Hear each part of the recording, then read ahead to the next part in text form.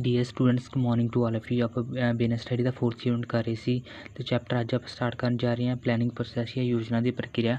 ਸੋ today's topic ਆਪਾਂ ਕੀ discuss ਕਰਨ ਜਾ ਰਹੇ ਹਾਂ, ਯੋਜਨਾ ਦੀ ਕੀ ਪ੍ਰਕਿਰਿਆ ਹੁੰਦੀ, ਕੀ ਪ੍ਰੋਸੈਸ ਹੁੰਦਾ ਹੈ ਤਾਂ। ਇਸ ਤੋਂ ਪਹਿਲਾਂ ਕੁਇਕ ਰਿਵੀਜ਼ਨ ਕਰਦਾ, ਯੋਜਨਾ ਤੇ ਭਵਿੱਖਬਾਣੀ ਬਾਰੇ ਜਿਹੜਾ ਪੜ੍ਹਿਆ ਸੀ ਯੋਜਨਾ ਕਿਸ ਨੂੰ ਕਹਿ ਸਕਦੇ ਹਾਂ? ਵੀ ਭਵਿੱਖ ਵਿੱਚ ਆਪਾਂ ਕੀ ਕਰਨਾ ਹੈ, ਉਸ ਬਾਰੇ ਜਾਣਕਾਰੀ ਨੂੰ ਯੋਜਨਾ ਕਹਿ ਸਕਦੇ ਹਾਂ। ਤੇ ਭਵਿੱਖਬਾਣੀ ਕਿਸ ਨੂੰ ਕਹਿੰਦੇ ਆ ਵੀ ਭਵਿੱਖ ਦਾ ਕੋਈ ਵੀ ਆਪਾਂ ਅੰਦਾਜ਼ਾ ਲਗਾਇਆ ਤਾਂ ਉਸ ਨੂੰ ਭਵਿੱਖਬਾਣੀ ਕਹਿੰਦੇ ਆ ਯੋਜਨਾ ਨੂੰ ਅਸਰਦਾਰ ਕਿਵੇਂ ਬਣਾਇਆ ਜਾ ਸਕਦਾ ਹੈ? ਤੇ ਆਪਾਂ ਪੁਆਇੰਟ ਪੜ੍ਹੇ ਸੀ ਵੀ ਕਿਹੜੇ ਕਿਹੜੇ ਅਸਰਦਾਰ ਤਰੀਕੇ ਨਾਲ ਆਪਾਂ ਯੋਜਨਾ ਨੂੰ ਵਧੀਆ ਤਰੀਕੇ ਨਾਲ ਬਣਾ ਸਕਦੇ ਜਿਵੇਂ ਯੋਜਨਾ ਦਾ ਮਾਹੌਲ ਪਹਿਲਾਂ ਲਾਗੂ ਕਰਨਾ ਚਾਹੀਦਾ ਵਾ, ਯੋਜਨਾ ਉੱਪਰੋਂ ਸ਼ੁਰੂ ਹੋਣੀ ਚਾਹੀਦੀ ਹੈ।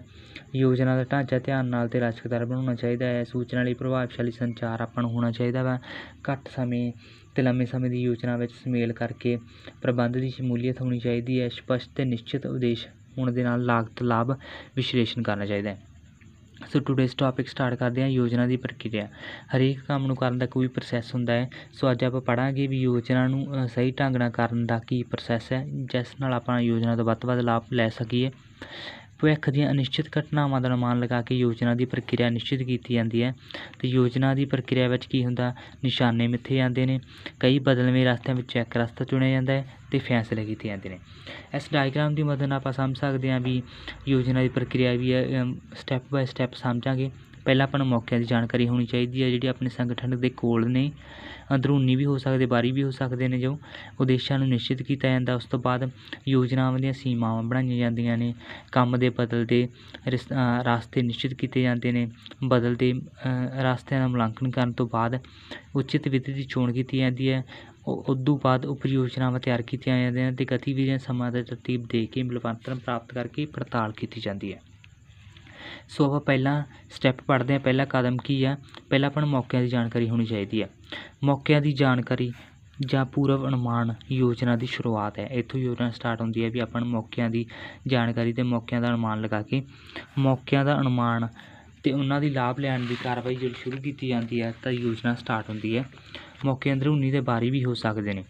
ਉਦਾਹਰਨ ਦੇ ਤੌਰ 'ਤੇ ਜੇ ਆਪਾਂ ਬਾਹਰੀ ਅੰਦਰੂਨੀ ਮੌਕੇ ਦੀ ਗੱਲ ਕਰੀਏ ਤਾਂ ਜੇ ਆਪਣੇ ਕੋਲ ਤਕਨੋਲਜੀ ਵਿੱਚ ਲਗਾਤਾਰ ਚੇਂਜ ਆ ਰਿਹਾ ਅਤੇ ਤਕਨੋਲਜੀ ਨਾਲ ਮੇਲ ਖਾਂਦੇ ਜੇ ਆਪਣੇ ਕੋਲ ਕਰਮਚਾਰੀ ਹੈ ਤਾਂ ਉਹ ਆਪਣੇ ਕੋਲ ਅੰਦਰੂਨੀ ਮੌਕਾ ਹੈ, ਆਪਾਂ ਤਕਨੋਲਜੀ ਨਾਲ ਮੇਲ ਖਾਂਦੇ ਕਰਮਚਾਰੀਆਂ ਨਾਲ ਵਧੀਆ ਕੰਮ ਚਲਾ ਸਕਦੇ ਹਾਂ।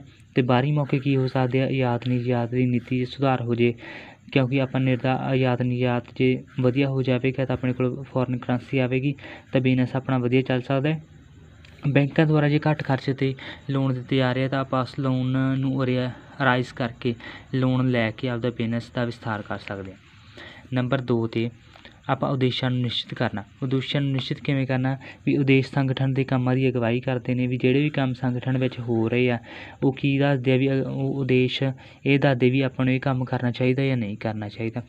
ਵਿਸ਼ੇਸ਼ ਅਤੇ ਸਪਸ਼ਟ ਹੋਣ ਆਪਾਂ ਨੂੰ ਕੀ ਕਰਨਾ ਕੀ ਕਰਨਾ ਚਾਹੀਦਾ, ਇਹ ਪਤਾ ਲੱਗੇ ਤਾਂ ਉਦੇਸ਼ ਬਣਾਏ ਜਾਂਦੇ ਨੇ ਵੀ ਆਪਾਂ ਕੀ ਕਰਨਾ ਇਹ ਇਸ ਦਾ ਪਤਾ ਲੱਗਣਾ ਚਾਹੀਦਾ ਵਾ।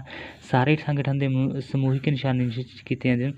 ਸਮੂਹਿਕ ਮਤਲਬ ਪਹਿਲਾਂ ਗਰੁੱਪ ਦੇ ਨਿਸ਼ਾਨੇ ਸਾਰੀ ਸੰਗਠਨ ਦੇ ਨਿਸ਼ਾਨੇ ਨਿਸ਼ਚਿਤ ਕੀਤੇ ਜਾਂਦੇ ਉਸ ਤੋਂ ਬਾਅਦ ਇਹ ਸਾਰੇ ਨਿਸ਼ਾਨਿਆਂ ਨੂੰ ਕਿਹਦੇ ਦੁਆਰਾ ਵਿਭਾਗੀ ਉਦੇਸ਼ ਵਿੱਚ ਬਦਲ ਜਾਂਦੇ ਜੀ ਆਪਣੇ ਕੋਲ ਕਾਫੀ ਜ਼ਿਆਦਾ ਵਿਭਾਗ ਨੇ। ਵਿਅਕਤੀ ਵਿਭਾਗ, ਮੰਡੀਕਰਨ ਵਿਭਾਗ, ਉਹਨਾਂ ਵਿਭਾਗਾਂ ਨੂੰ ਪਹੁੰਚਾਇਆ ਜਾਂਦਾ ਹੈ। ਅਤੇ ਹੇਠਲੇ ਪੱਧਰ 'ਤੇ ਵਿਅਕਤੀਗਤ ਇਕੱਲੇ ਡਿਪਾਰਟਮੈਂਟ ਜਾਂ ਇਕੱਲੇ ਇਕੱਲੇ ਵਿਅਕਤੀ ਦੇ ਉਦੇਸ਼ ਨਿਸ਼ਚਿਤ ਕੀਤੇ ਜਾਂਦੇ ਆ ਤਾਂ ਕਿ ਆਪਾਂ ਇਹਨਾਂ ਨੂੰ ਸਪਸ਼ਟ ਕਰਕੇ ਵਧੀਆ ਤੋਂ ਵਧੀਆ ਤਰੀਕੇ ਨਾਲ ਇਹਨਾਂ ਨੂੰ ਸਾਰਾ ਕੁਝ ਪਤਾ ਲੱਗ ਜੇ ਵੀ ਆਪਾਂ ਯੋਜਨਾ ਕਿਉਂ ਬਣਾ ਰਹੇ ਹਾਂ, ਕਿਉਂ ਨਹੀਂ ਬਣਾ ਰਹੇ। ਸੋ ਉਦੇਸ਼ਾਂ ਨੂੰ ਨਿਸ਼ਚਿਤ ਕਰਕੇ ਇਹ ਆਪਣਾ ਦੂਜਾ ਕਦਮ ਹੈ। ਨੰਬਰ ਤਿੰਨ 'ਤੇ ਆਪਾਂ ਕੀ ਕਰਨਾ ਜਾਂ ਤੀਜਾ ਕਦਮ ਕੀ ਆ? ਯੋਜਨਾ ਦੀਆਂ ਮਾਨਤਾਵਾਂ ਜਾਂ ਸੀਮਾਵਾਂ ਕਾਇਮ ਕਰਨਾ। ਮਾਨਤਾਵਾਂ ਜਾਂ ਸੀਮਾਵਾਂ ਕਾਇਮ ਕਰਨਾ ਯੋਜਨਾ ਦੀਆਂ ਮਾਨਤਾਵਾਂ ਕੀ ਹੋ ਸਕਦੀਆਂ? ਵੀ ਜਿਹੜੇ ਭਵਿੱਖ ਵਿੱਚ ਯੋਜਨਾ ਨੂੰ ਪ੍ਰਭਾਵਿਤ ਕਰ ਸਕਦੇ ਹਨ, ਉਹ ਤੱਤ। ਉਹਨਾਂ ਨੂੰ ਅਪਮਾਨਤਾਵਾਂ ਉਹਨਾਂ ਨੂੰ ਹਮੇਸ਼ਾ ਯਾਦ ਰੱਖ ਕੇ, ਧਿਆਨ ਵਿੱਚ ਰੱਖ ਕੇ ਆਪਾਂ ਯੋਜਨਾ ਬਣਾਉਣੀਆਂ ਵਾ। ਸੀਮਾਵਾਂ 'ਤੇ ਵੀ ਆਪਾਂ ਵਿਚਾਰ ਲਾਜ਼ਮੀ ਕਰਨਾ ਚਾਹੀਦਾ। ਸੀਮਾਵਾਂ ਕਿਵੇਂ ਹੋ ਸਕਦੀਆਂ? ਵੀ ਰਾਜਨੀਤਿਕ ਹਾਲਤ ਕਿਹੋ ਜਿਹੀ ਆ? ਕੀਮਤਾਂ ਕਿੰਨ ਦੀ ਹਿਲਜੁਲ ਕਿੰਨੀ ਕੁ ਆ? ਮੰਗ ਕਿੰਨੀ ਕੁ ਆ? ਮੁਕਾਬਲਾ ਕਿੰਨਾ ਕੁ ਹੈ? ਇਹਨਾਂ 'ਤੇ ਵਿਚਾਰ ਕਰਕੇ ਯੋਜਨਾ ਦੀ ਤਿਆਰੀ ਕੀਤੀ ਜਾਂਦੀ ਹੈ ਅਤੇ ਮਾਨਤਾਵਾਂ ਯੋਜਨਾ ਦਾ ਆਧਾਰ ਹੁੰਦੀਆਂ ਨੇ ਅਤੇ ਮਾਨਤਾਵਾਂ ਦੇ ਅਨੁਸਾਰ ਹੀ ਆਪਾਂ ਯੋਜਨਾ ਚਲਾਉਣੀ ਹੈ।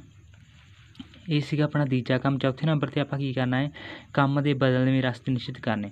ਇਹ ਆਪਾਂ ਨੂੰ ਬਹੁਤ ਚੰਗੀ ਤਰ੍ਹਾਂ ਪਤਾ ਵੀ ਹਰੇਕ ਕੰਮ ਦੇ ਬਹੁਤ ਜ਼ਿਆਦਾ ਰਸਤੇ ਹੁੰਦੇ ਨੇ ਅਤੇ ਉਦੇਸ਼ਾਂ ਨੂੰ, ਸੰਗਠਨ ਦੇ ਉਦੇਸ਼ਾਂ ਨੂੰ ਪ੍ਰਾਪਤ ਕਰਨ ਲਈ ਵੀ ਕਈ ਰਸਤੇ ਨੇ। ਅਤੇ ਉਹਨਾਂ ਵਿੱਚੋਂ ਉੱਤਮ ਰਸਤੇ ਦੀ ਚੋਣ ਕਰਨੀ ਆ। ਉਹਦੀ ਚੋਣ ਕਿਵੇਂ ਕਰਨੀ ਆਪਾਂ ਲਾਗਤ ਵੇਖਣੀ ਆ। ਉਹ ਰਸਤੇ ਦੀ ਲਾਗਤ ਕਿਵੇਂ ਆ? ਜੋਖਮ ਉਹ 'ਤੇ ਕਿੰਨਾ ਕਾ ਲਾਭ ਉਸ ਤੋਂ ਕਿੰਨਾ ਹੋ ਰਿਹਾ ਵਾ? ਜਾਂ ਸਮਾਂ ਉਸ ਵਿੱਚ ਕਿੰਨਾ ਇਨਵੈਸਟ ਹੋ ਰਿਹਾ ਵਾ? ਕਿੰਨਾ ਲੱਗ ਰਿਹਾ ਵਾ? ਇਹ ਚੀਜ਼ਾਂ ਵਿਸ਼ਲੇਸ਼ਣ ਕਰਕੇ ਆਪਾਂ ਕੰਮ ਦੀ ਵਿਧੀ ਨਿਰਧਾਰਤ ਕਰਨੀ ਹੈ ਤਾਂ ਕਿ ਸਾਰਿਆਂ ਰਸਤਿਆਂ ਵਿੱਚ ਇੱਕ ਰ- ਵਧੀਆ ਰਸਤਾ ਉੱਤਮ ਰਸਤਾ ਚੁਣਿਆ ਜਾ ਸਕੇ। ਨੰਬਰ 5 ਤੇ ਕੀ ਆ ਵੀ ਬਦਲੇ ਰਸਤਿਆਂ ਦਾ ਮੁਲਾਂਕਣ ਕਰਨਾ।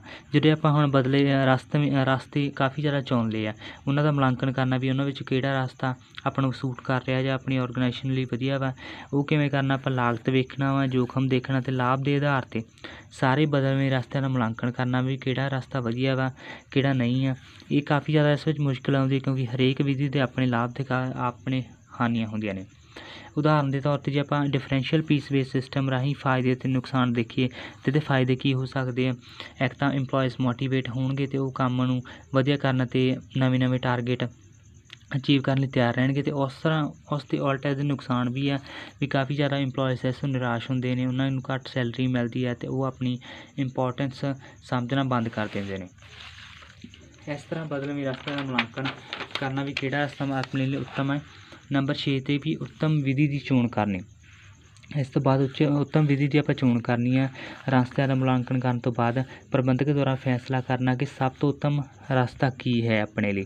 ਜੇਕਰ ਦੋ ਵਿਧੀਆਂ ਵਿਚਕਾਰ ਉਸ ਨੂੰ ਮਤਲਬ ਕਨਫਿਊਜ਼ਨ ਆ ਵੀ ਦੋ ਵਿਧੀਆਂ ਦੇ ਬਹੁਤ ਮਹੱਤਵਪੂਰਨ ਆ ਤੇ ਉਹਨਾਂ ਵਿੱਚੋਂ ਪ੍ਰਬੰਧਕ ਦੀ ਮਰਜ਼ੀ ਆ ਉਹ ਕਿਹੜੀ ਵਿਧੀ ਚੁਣ ਸਕਦਾ ਹੈ। ਨੰਬਰ 7 ਤੇ ਉਸਨੇ ਕੀ ਕਰਨਾ ਵੀ ਉਪ ਯੋਜਨਾਵਾਂ ਤਿਆਰ ਕਰਨੀਆਂ। ਉਪ ਯੋਜਨਾਵਾਂ ਮਤਲਬ ਥੋੜ੍ਹੀਆਂ ਛੋ- ਛੋਟੀਆਂ ਛੋਟੀਆਂ ਯੋਜਨਾਵਾਂ ਤਾਂ ਕਿ ਜਿਹੜੀ ਮੁੱਖ ਯੋਜਨਾ ਤੇ ਟੀਚਾ ਆਪਾਂ ਪ੍ਰਾਪਤ ਕਰ ਸਕੀਏ। ਰਸਤੇ ਦੀ ਚੋਣ ਤੋਂ ਬਾਅਦ ਵਿਸਥਾਰ 'ਚ ਪ੍ਰੋਗਰਾਮ ਅਤੇ ਯੋਜਨਾ ਤਿਆਰ ਕਰਨੀਆਂ, ਮਤਲਬ ਉਪ ਯੋਜਨਾ ਬਣਾਉਣੀਆਂ ਵਾ। ਮੁੱਖ ਯੋਜਨਾ ਵਿੱਚ, ਵਿੱਚੋਂ ਉਪ ਯੋਜਨਾਵਾਂ ਵੀ ਕਈ ਤਿਆਰ ਹੋ ਕੇ ਨਿਕਲਦੀਆਂ ਆਪਣੇ ਕੋਲ, ਤਾਂ ਕਿ ਆਪਾਂ ਮੁੱਖ ਯੋਜਨਾ ਦਾ ਟੀਚਾ ਜਲਦੀ ਤੋਂ ਜਲਦੀ ਪ੍ਰਾਪਤ ਕਰ ਸਕੀਏ। ਉਦਾਹਰਨ ਦੇ ਤੌਰ ਤੇ ਆਪਾਂ ਜੇ ਦੇਖੀਏ ਤਾਂ ਸੰਗਠਨ ਵਿੱਚ ਆਪਾਂ ਜੀ ਜੀ ਐੱਸ ਟੀ ਆਉਣ ਦੇ ਕਰਕੇ ਬਦਲਾਵ ਕਰਨਾ ਹੈ। ਤਾਂ ਉਪ ਯੋਜਨਾ ਵਿੱਚ ਕਿਹੜੀ ਯੋਜਨਾ ਮੁੱਖ ਯੋਜਨਾ ਆਪਣੇ ਕੀ ਆ ਵੀ ਆਪਾਂ ਜੀਐਸਟੀ ਦੇ ਆਉਣ ਕਰਕੇ ਆਪਾਂ ਵਧੀਆ ਤਰੀਕੇ ਨਾਲ ਸਿਸਟਮ ਨੂੰ ਲਾਗੂ ਕਰਨਾ ਹੈ। ਤਾਂ ਜਿਹੜੀਆਂ ਅ, ਉਪ ਯੋਜਨਾਵਾਂ ਕੀ ਹੋ ਸਕਦੀਆਂ ਵੀ ਆਪਾਂ ਪਹਿਲਾਂ ਤਾਲਮੇਲ ਪੈਦਾ ਕਰਨਾ ਆਪਣਾ ਵੱਖ-ਵੱਖ ਵਿਭਾਗਾਂ ਵਿੱਚ ਕਿਉਂਕਿ ਵੱਖ-ਵੱਖ ਵਿਭਾਗਾਂ ਵਿੱਚ ਅਕਾਊਂਟਿੰਗ ਸਿਸਟਮ ਯੂਜ਼ ਹੋ ਰਿਹਾ ਵਾ ਉਹਨਾਂ ਨੂੰ ਟ੍ਰੇਨਿੰਗ ਦੇਣੀ ਹੈ। ਨੰਬਰ 8 ਤੇ ਆਪਾਂ ਕੀ ਕਰਨਾ, ਵੀ ਗਤੀਵਿਧੀਆਂ ਸਮਾਂ ਤੇ ਤਰਤੀਬ ਨਿਸ਼ਚਿਤ ਕਰਨੀ ਹੈ ਯੋਜਨਾ ਨੂੰ ਅਮਲੀ ਰੂਪ ਰੂਪ ਦੇਣ ਲਈ, ਮਤਲਬ ਉਸ ਨੂੰ ਅਸਲੀਅਤ ਵਿੱਚ ਲਿਆਉਣ ਲਈ।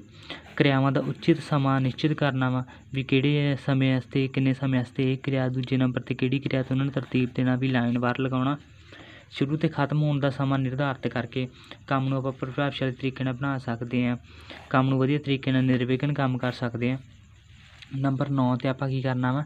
ਮਿਲਵਰਤਨ ਪ੍ਰਾਪਤ ਕਰਨਾ। ਸਾਰੇ ਵਿਭਾਗਾਂ ਦਾ ਮਿਲਵਰਤਨ ਸਾਰੇ ਮੈਂਬਰਾਂ ਦਾ, ਮੈਂਬਰਾਂ ਵਿੱਚ ਮਿਲਵਰਤਨ ਪੈਦਾ ਕਰਨਾ ਹੈ ਤਾਂ ਕਿ ਯੋਜਨਾ ਦੇ ਵਿਸਥਾਰ ਸਾਰੇ ਮੈਂਬਰਾਂ ਵਿੱਚੋਂ ਕਰ ਕਰਕੇ ਵੀ ਉਹਨਾਂ ਦੀ ਸਲਾਹ ਲੈ ਕੇ ਉਹਨਾਂ ਨੂੰ ਯੋਜਨਾ ਦੀ ਸਮਝ ਆ ਗਈ ਜਾਂ ਨਹੀਂ ਆ ਗਈ। ਹਰ ਮੈਂਬਰਾਂ ਨੂੰ ਯੋਜਨਾ ਦੀ ਸਮਝ ਆ ਜਾਣੀ ਚਾਹੀਦੀ ਹੈ। ਇਸ ਤਰ੍ਹਾਂ ਉਹਨਾਂ ਨਾਲ ਮਿਲਵਰਤਨ ਕਰਨਾ, ਕਿਉਂਕਿ ਮਿਲਵਰਤਨ ਨਾਲ ਹੀ ਆਪਾਂ ਸਾਰਾ ਕੁਝ ਅਚੀਵ ਕਰ ਸਕਦੇ ਹਾਂ। ਨੰਬਰ 10 ਤੇ ਕੀ ਹੈ ਪੜਤਾਲ। ਪੜਤਾਲ ਕਰਨਾ ਬਹੁਤ ਜ਼ਰੂਰੀ ਹੈ ਵੀ ਯੋਜਨਾ ਇੱਕ ਲਗਾਤਾਰ ਪ੍ਰਕਿਰਿਆ ਹੈ ਅਤੇ ਪ੍ਰਭਾਵ ਨੂੰ ਸਮੇਂ-ਸਮੇਂ ਆਪਾਂ ਨੂੰ ਦੇਖਣਾ ਪੈਣਾ ਵੀ ਮਤਲਬ ਇਸ ਦਾ ਇਸ ਦੀ ਪੜਤਾਲ ਕਰਨੀ ਹੈ ਪ੍ਰਭਾਵ ਸਹੀ ਪੈ ਰਿਹਾ ਜਾਂ ਨਹੀਂ ਪੈ ਰਿਹਾ। ਪੜਤਾਲ ਨੂੰ ਕਈ ਵਾਰ ਇਸ 'ਤੇ ਦੁਬਾਰਾ ਵੀ ਵਿਚਾਰ ਕਰਨ ਦੀ ਲੋੜ ਪੈ ਜਾਂਦੀ ਹੈ। ਇਸ ਤੋਂ ਬਾਅਦ ਆਪਾਂ ਕੀ ਕਰ ਸਕਦੇ ਹਾਂ ਉਪਯੋਜਨਾਵਾਂ ਤਿਆਰ ਕਰ ਸਕਦੇ ਹਾਂ। ਬਿਨਾਂ ਪੜਤਾਲ ਤੋਂ ਜਿਹੜੀ ਕੋਈ ਵੀ ਕੰਮ ਕਰ ਰਹੇ ਹਾਂ ਤਾਂ ਉਹ ਬੇਕਾਰ ਸਮਝਿਆ ਜਾ ਸਕਦਾ ਹੈ ਬੇਕਾਰ ਕਸਰਤ ਸਮਝੀ ਜਾ ਸਕਦੀ ਹੈ। ਇਹ ਸੀਗਾ ਜੀ ਯੋਜਨਾ ਦੀ ਪ੍ਰਕਿਰਿਆ ਆਈ ਹੋਪ ਤੁਹਾਨੂੰ ਲੈਕਚਰ ਵਧੀਆ ਲੱਗਿਆ ਹੋਵੇਗਾ ਅਤੇ ਸਮਝ ਵੀ ਆ ਗਿਆ ਹੋਵੇਗਾ। Thank you so much